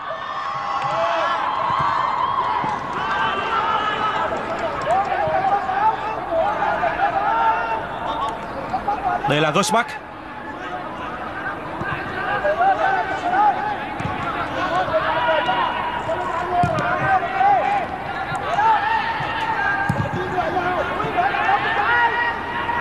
Được truyền của Buhaza. Phút thứ 20 của hiệp thi đấu thứ hai. Đội tuyển U23 Việt Nam vẫn đang có được một thế trận đến thời điểm này là thành công và ấn tượng trước đội bóng rất mạnh của bảng đấu, đó là U23 Australia. Tông Dích Trung vệ mang áo số 21 của U23 Australia vẫn luôn là cầu thủ đứng cuối cùng nơi hệ thống phòng ngự của đối phương. Lỗi việt vị của cầu thủ vừa đánh đầu về phía khung thành của Tiên Dũng. Sẽ có nhiều hơn những tình huống như vậy. Nhiều hơn những tình huống như vậy mà U23 Australia thực hiện về phía khung thành của thủ môn Tiến Dũng. Một quyết định chính xác của trọng tài. Nhưng đó là một pha bóng cho thấy hàng phòng ngự của chúng ta sẽ rất phải tập trung ở trong những phút sắp tới của trận đấu. Blackwood, cầu thủ mang áo số 9 đã có mặt Xin được lưu ý với quý vị là Blackwood có chiều cao là 1m86 và anh rất nguy hiểm trong các tình huống không chiến. Trận đấu trước, anh có được hai bàn. Bàn đầu tiên là từ tình huống kiến tạo của Dani Da Silva, người mới vào sân, và bàn thứ hai được hỗ trợ từ tình huống thoát xuống cũng bên phía cánh phải, nhưng của một tiền vệ khác đó là Buhaja, tiền vệ màu số 7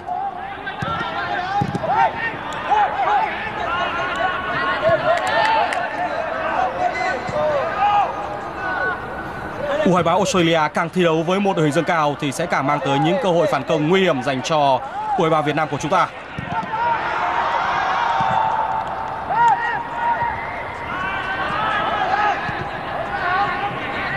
Câu chuyện bây giờ chỉ diễn ra ở bên phía phần sân của đội tuyển U23 Nơi mà các cầu thủ đối phương đang rất mạnh mẽ ở hai biên và liên tục thực hiện những tình huống tấn công ở bên phía cánh phải thì hướng tấn công của U23 Australia với tiền vệ mang áo số 15 Bakus.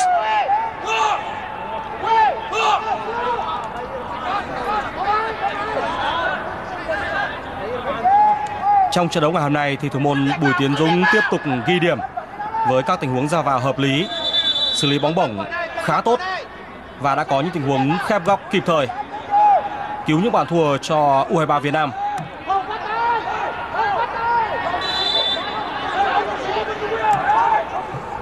Quả đá phạt góc của Gersbach. De Silva. Mauk.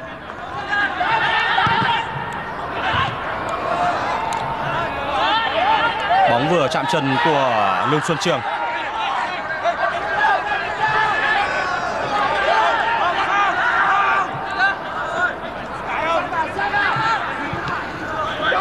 Chúng ta có thể nghe thấy rất rõ tiếng cao thủ hai bên gọi nhau.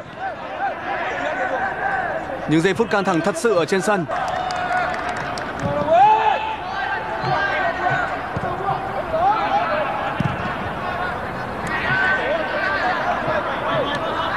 Macri Suza, Gersbach Đường truyền đã sửa lưng đồng đội của Gersbach nhìn bóng vẫn trong chân của cao thủ áo vàng Đây là Macri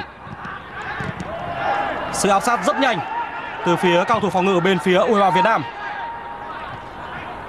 Pha áp sát vừa rồi đã khiến cho đội trưởng Mauk của Australia đang bị đau. Chamnes De Silva.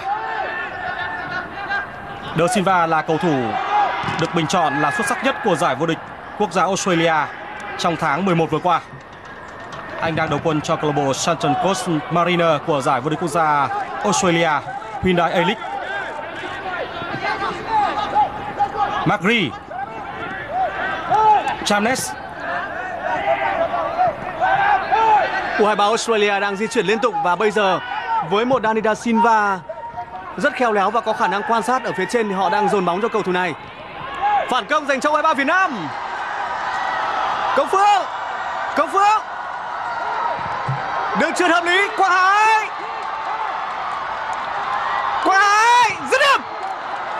Quả phạt góc dành cho U23 Việt Nam.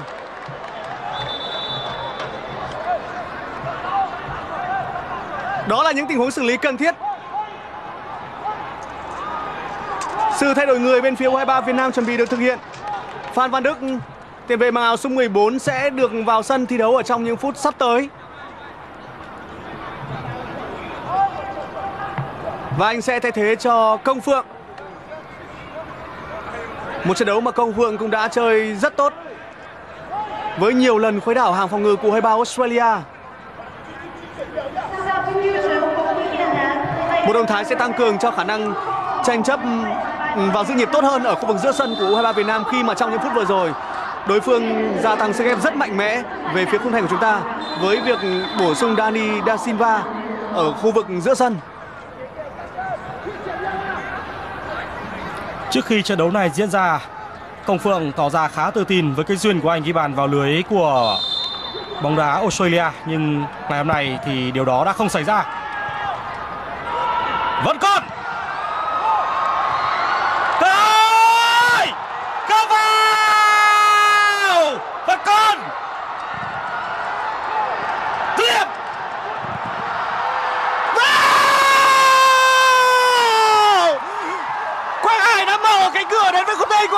Australia Thật tuyệt vời trong những cơ hội bị bỏ lỡ bởi Tiến Dũng và các đồng đội, thì cuối cùng cái tên Quang Hải lại là người tỏa sáng.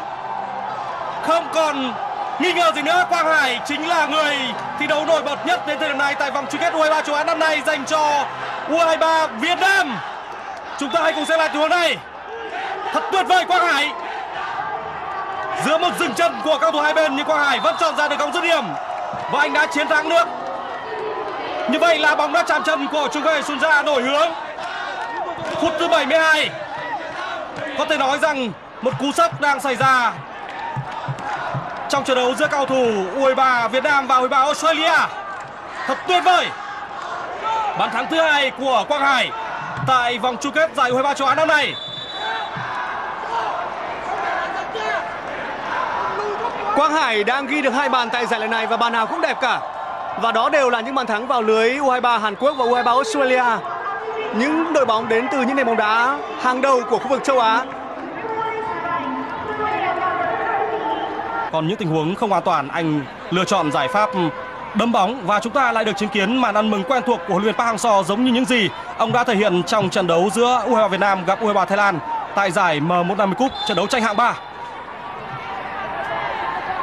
Một hành động mang đến một cảm giác là huấn luyện viên Park Hang-seo như trẻ lại với cú sút của Quang Hải.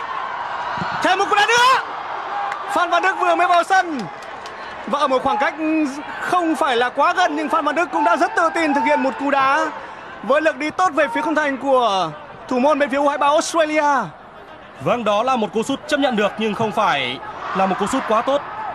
Có lẽ một tình huống chuyền bóng bên phía cánh trái cho đồng đội băng lên sẽ mang tới một cơ hội tiếp cận khung thành nguy hiểm hơn dành cho U23 Việt Nam của chúng ta. Đây vẫn là lúc mà các cầu thủ chúng ta cần phải rất tập trung và bình tĩnh, không bị quấn vào lối đá của đối thủ. Một sự tập trung như vậy chúng ta đã duy trì được trong suốt 75 phút đã qua. Và nhưng 15 phút cuối trận sẽ là quãng thời gian với vô vàn thử thách.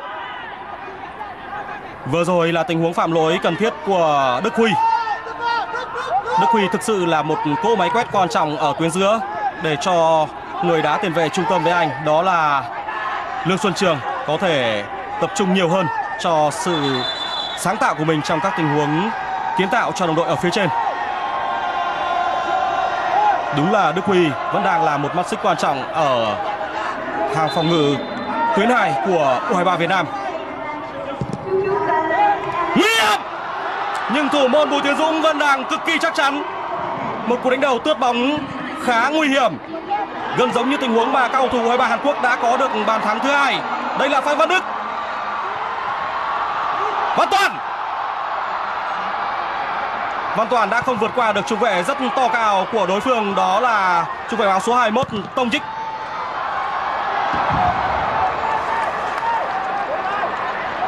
Màn trình diễn của đội tuyển U23 Việt Nam đang thực sự mang tới rất nhiều cảm xúc trên sân vận động Cô Sơn. Đương nhiên là những cổ động viên của chúng ta đang đông hơn so với các cổ động viên của Australia. Nhưng phải nói rằng đây chính là trận đấu mà huấn luyện viên Park Hang-seo cùng với các học trò thực sự là biết mình, biết người. Đấu pháp phòng ngự phản công rất khoa học và đã được các học trò của ông Park Hang-seo triển khai một cách chắc chắn ở trên sân và đã hiệu quả trong các tình huống phản công. Ở trong hiệp 2 này thì bóng liên tục được đưa sang bên phía cánh phải của đội tuyển U23 Australia. Cho dù kết quả cuối cùng của trận đấu này có là thế nào đi chăng nữa, ai khác gờ thì chắc chắn rằng U23 Việt Nam sẽ lại khiến cho làng báo của khu vực châu Á sẽ thực sự ấn tượng rất nhiều sau lượt trận thứ hai này. Đây là phút thứ 79 rồi. Chúng ta vẫn đang dẫn trước đối thủ rất mạnh của bảng đấu U23 Australia với tỷ số 1-0. Và đây là tình huống mà Buhaja đã có pha chơi rất xấu vào bóng bằng gầm giày đối với Đoàn Văn Hậu. Một pha phạm lỗi xứng đáng phải nhận thẻ của tiền vệ áo số 7 bên phía U23 Australia.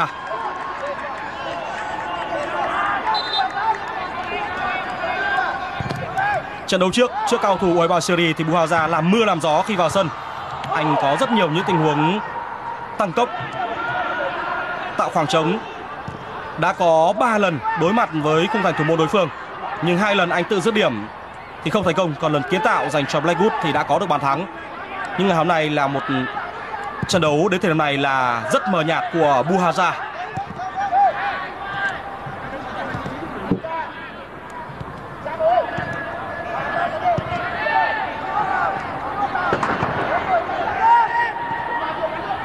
Phút thứ 80 80 phút, mọi thứ đã diễn ra suôn sẻ và rất tuyệt vời đối với đội tuyển U23 Việt Nam.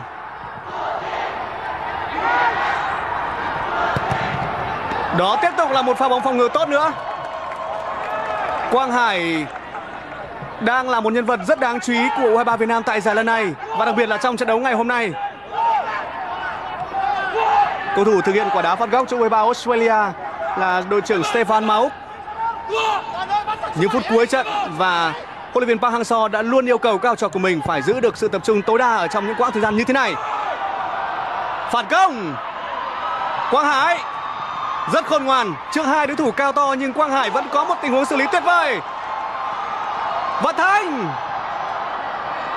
không dễ để vượt qua Tông Ích, nhưng đó đã là tốt lắm rồi. Khi mà chỉ có một mình Văn Thanh ở phía trên, các hậu vệ và các đồng đội của Văn Thanh không kịp lên ở trong những tình huống như vậy khi đang phải dồn sức tối đa ở mặt trận phòng ngự của mình. Vâng, cao thủ U23 Việt Nam của chúng ta đang có cơ hội để tạo nên một chiến thắng lịch sử tại vòng chung kết của giải U23 châu Á. Phút thứ 81. Thời gian thi đấu chính thức còn lại của trận đấu còn chưa đầy 10 phút nữa. Và thời gian đá bù giờ của trận đấu này chắc chắn sẽ là không nhiều. Chúng ta cần có sự tập trung. Rất nguy hiểm. Bóng đã rời sang ngang khung thành của thủ môn Bùi Tiến Dũng. Có lẽ người dứt điểm lại là Blackwood. Vừa rồi thì Văn May đã mỉm cười với cầu thủ U23 Việt Nam. Đáng tiếc là trong pha bóng vừa rồi thì Văn Toàn đã không thể có được bóng. Lại là một tình huống bóng bổng nữa của Blackwood. Quá nhiều thử thách dành cho hàng phòng ngự của U23 Việt Nam, đặc biệt là kể từ khi Blackwood vào sân. Chiều cao 1m86 đang mang đến một ưu thế vượt trội của cầu thủ này với khoảng không phía trước khung thành của thủ môn Tiến Dũng. Một cú đánh đầu tốt của số 9 bên phía U23 Australia.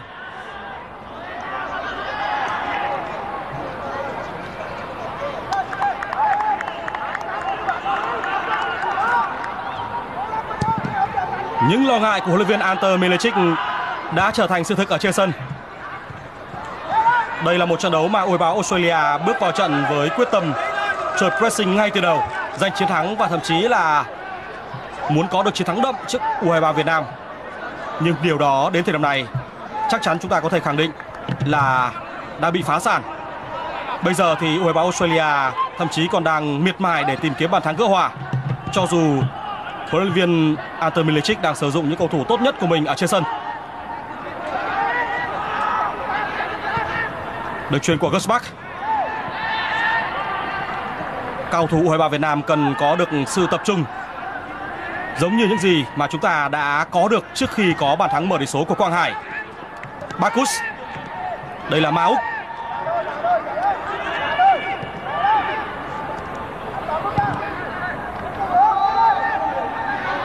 Suja. Áp sát rất nhanh. Nguy hiểm. Vẫn là một tình huống chọn vị trí tốt nữa của thủ môn Bùi Tiến Dũng. Người dứt điểm vừa rồi là đội trưởng Ma Úc. Có lẽ cú dứt điểm của Ma Úc bóng đã chạm chân của một cầu thủ và đổi hướng, nhưng rất may cho thủ môn Tiến Dũng đó là bóng đổi hướng ở vị trí mà anh đã đứng sẵn. Văn Thanh sẽ cần thêm những sự hỗ trợ ở bên phía cánh của mình khi anh đã phải hoạt động rất vất vả ở trong trận đấu ngày hôm nay. Hai cơ hội đáng kể vừa rồi của U23 Australia đều xuất phát từ những tình huống chuyền bóng bên phía cánh này. Tiến Dũng.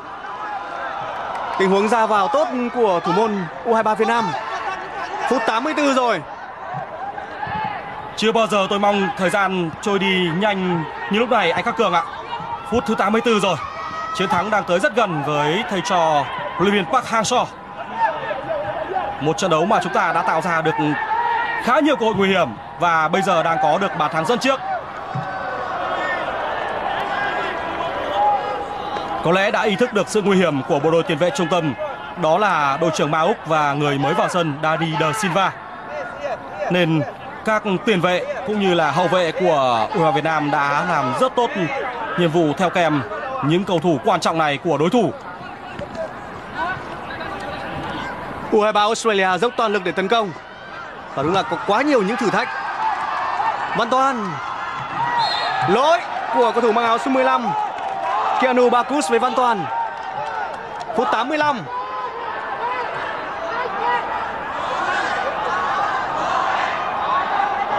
Các cổ động viên Việt Nam đang thật tuyệt vời Khi cổ vũ hết mình dành cho các cầu thủ thi đấu ở dưới sân. Ngày hôm qua, chúng ta cũng như là các cầu thủ U23 Việt Nam có lẽ dành rất nhiều những lời khen ngợi cho màn trình diễn của U23 Malaysia và U23 Thái Lan. Và nếu như theo dõi trận đấu ngày hôm nay thì các cầu thủ U23 Thái Lan và Malaysia chắc chắn sẽ dành những sự khen ngợi đối với màn trình diễn của U23 Việt Nam. Trận đấu đang trôi về những phút cuối và U23 Việt Nam đang dẫn trước U23 Australia với tỷ số 1-0 nhờ pha lập công ở phút thứ 72 của Quang Hải. Thời gian không còn nhiều nhưng vẫn luôn cần sự tỉnh táo của các cầu thủ. Cú phá bóng an toàn của Tiên Dũng. Sự ghép rất lớn đến từ phía U23 Australia. Và một lần nữa thì bóng lại được phát triển ở bên phía cánh trái. Ném biên dành cho đội tuyển của chúng ta. Popovic sau khi vào sân đã hoạt động khá hiệu quả và trở thành một mắt xích lợi hại trong việc liên kết những cầu thủ tấn công của U23 Australia.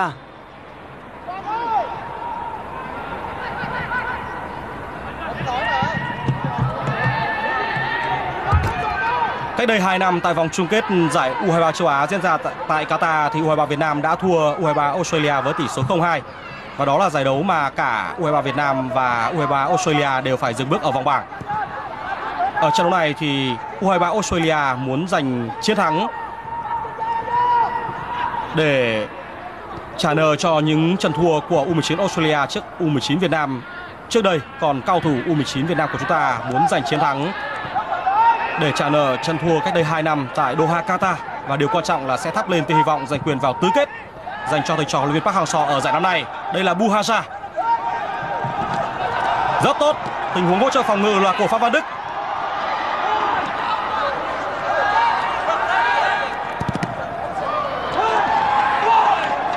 Phan Văn Đức đã lăn xả trong tình huống tranh chấp với cầu thủ đối phương.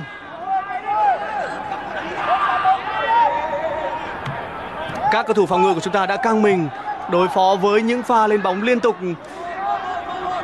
như thế này ở trong suốt chiều dài trận đấu ngày hôm nay. Thêm một quả đá phạt góc nữa và thêm một cơ hội nguy hiểm dành cho U23 Australia. Rất kịp thời. Thêm hai cú phá bóng liên tục. Quang Hải, không phải đó là Văn Toàn. U23 Australia kiểm soát bóng lên tới 73% nhưng chất lượng trong những cú dứt điểm đang thuộc về các cầu thủ chúng ta, kể cả ở khâu phòng ngự nữa cho đến phút thứ 88 này. Chiến thắng đang tới rất gần với đội tuyển U23 Việt Nam. Magri U23 Australia đang nôn nóng còn cao thủ của chúng ta cần phải có được sự tập trung. Pha đi bóng quá lộ liễu của Bakus và người đã kịp thời ngăn cản, đó chính là Văn Văn Đức. Phút thứ 88 và chuẩn bị bước sang phút thứ 89 rồi. U23 Việt Nam đang dẫn trước U23 Australia với tỷ số 1-0 nhờ bàn thắng của Quang Hải trong trận đấu ngày hôm nay.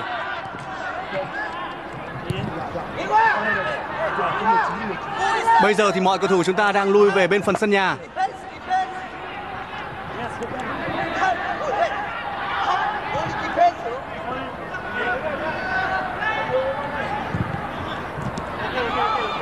Rất tốt. Phan Văn Đức. Đúng là huấn luyện viên Park Hang-seo đã có một sự thay đổi người hoàn toàn hợp lý khi Phan Văn Đức là nhân vật trung tâm ở trong rất nhiều những pha tranh chấp ở quãng thời gian vừa rồi. Anh đã làm tăng thêm sự hiệu quả trong những tình huống thu hồi bóng dành cho tuyến tiền vệ của đội tuyển U23 Việt Nam. Phan Văn Đức, Đức Huy. Vừa rồi là pha xử lý không thực sự tốt của chúng ta. Một tình huống mà nếu như bình tĩnh có thể phát động một pha bóng phản công nguy hiểm. Tuy nhiên cũng thông cảm bởi thời gian còn lại là thời gian mà chúng ta cần phải tập trung tối đa cho khâu phòng ngự rất nguy hiểm. Rất may, rất may là cầu thủ của đối phương đã bị trượt chân. hàng phòng ngự của chúng ta đã mắc lỗi nhưng Buhaza đã trượt chân một pha bóng mà nếu như số 7 của u Australia không bị trượt chân thì anh đã có thể có cơ hội để ghi bàn gỡ hòa đây là phút 90 phút thi đấu chính thức cuối cùng rồi Đúng là sự sốt ruột và nôn nóng cũng khiến cho các cầu thủ U23 Australia gặp khó khăn.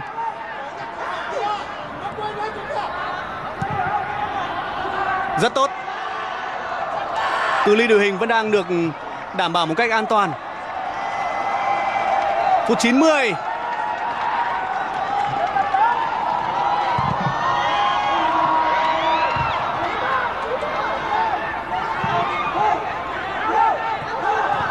Liên tục là những tình huống tranh chấp của Phan Văn Đức. Ban huấn luyện cũng đang chỉ đạo rất rõ ràng và rất khoát dành cho các trò của mình về sự tập trung. 3 phút đã bù giờ trong hiệp đấu thứ hai.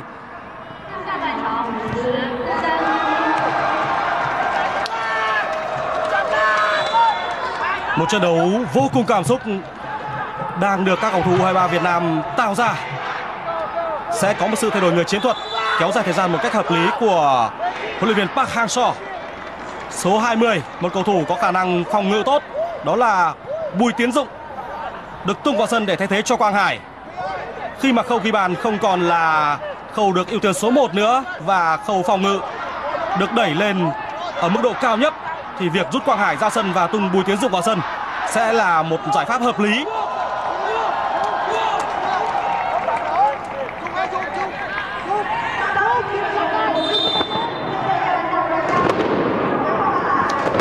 Quang giờ sân và đã cúi chào các cổ động viên cho những sự cổ vũ hết mình mà các cổ động viên đã dành cho đội bóng của chúng ta ở trong trận đấu ngày hôm nay.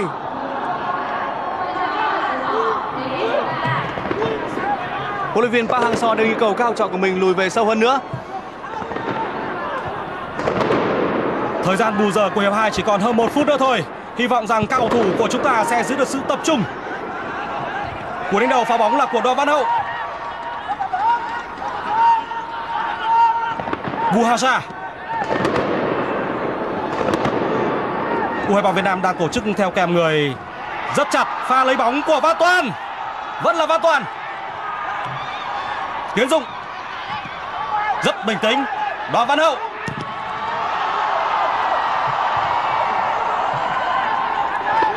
Chỉ còn một phút nữa thôi, Thời gian đá bù giờ sẽ kết thúc Buhaja Bóng vẫn trong chân của cao thủ U23 Việt Nam Văn Hậu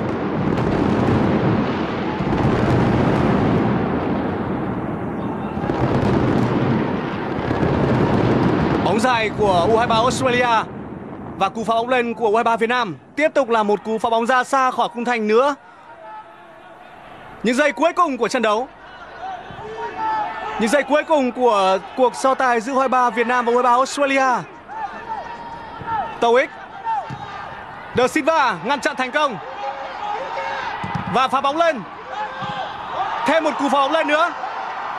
Vâng đây là giải đấu mà tiêu chí để xếp hạng được xét tới đầu tiên đó là đối đầu và việc cao thủ U23 Australia nếu như để thua trong trận đấu ngày hôm nay trước U23 Việt Nam, thậm chí là còn có nguy cơ sẽ phải dừng chân ngay sau vòng đấu bảng, dù đã có được chiến thắng 3-1 ở trận đấu ra quân trước U23 Syria.